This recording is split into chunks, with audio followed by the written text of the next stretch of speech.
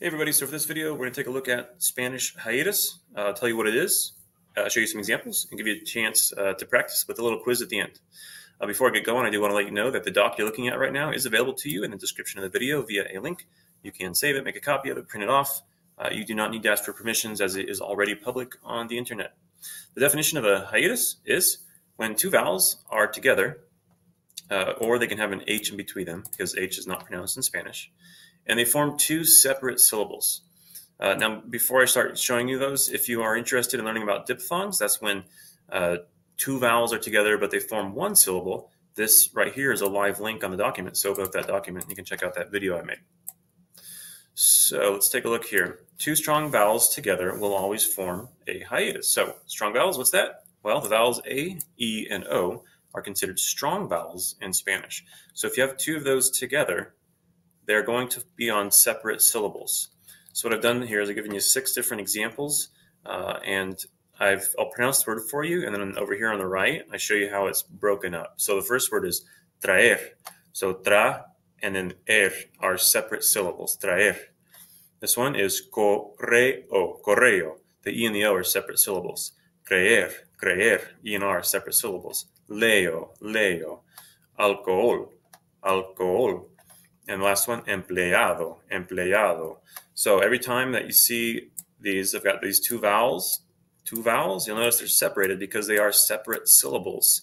They do not form one syllable because they're both strong vowels. So they will always be a hiatus. They'll be separated. Now you can also have a hiatus with a strong and a weak vowel together so long as the weak vowel is stressed or has an accent mark on it. So the weak vowels are U and I. So what I've got here for you are five more words. And over here is how they're spelled along with the accent mark on that weak vowel. And over here is kind of how the syllables will be broken up. So the first word is policia, policia. So these two are, there's an I and an A together right here, but they're separate syllables because that I has an accent mark on it. If that I weren't accented like that, the word would, would be pronounced policia.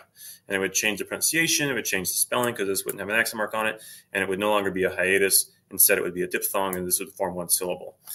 Next one, we've got tío, continuo, reír. And you've probably learned this word before, dia, like buenos dias, right? So all those times, we have a weak vowel, an I or a U, with an accent mark on it next to a strong vowel. That's the second type of hiatus. There are uh, more than this. I just thought I'd give you a handful of examples if you're interested more about like learning accent marks and the rules and how to know when to put an accent mark on a word or how to pronounce the word based on it having an accent mark or not having an accent mark, I do have a lesson on that. You can just search YouTube for Spanish accent marks and you'll find my lesson, or you can use this link and it'll also take you to that. So if you want to see if you can understand this, I've got six words and I've underlined on the words the two vowels that are together. And I want you to decide if it's a hiatus or not. I'll pronounce the word for you, all six of them. Maybe pause the video and decide, and then I'll tell you the answers.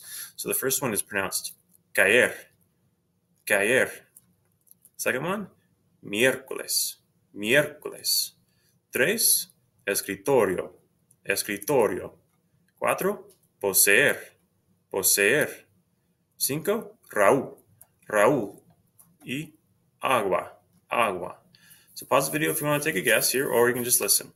So let's go look at the easier ones first. Remember that A, E, and O are strong vowels. So no matter what, if you have an A, E, or an O together, that will form a hiatus. So this one is a hiatus. Uh, these are these are two strong vowels, so that's also a hiatus. The rest of them are either are a combination of a weak and a strong vowel. So we'll have to look at those ones separately. So this one, miércoles, so you'll notice that there is an accent mark, but it's on the strong vowel and not the weak vowel. So that one does not form a hiatus. The accent mark would have to be on the I in order for it to be a hiatus. So this one's actually a diphthong. Uh, this one, escritorio.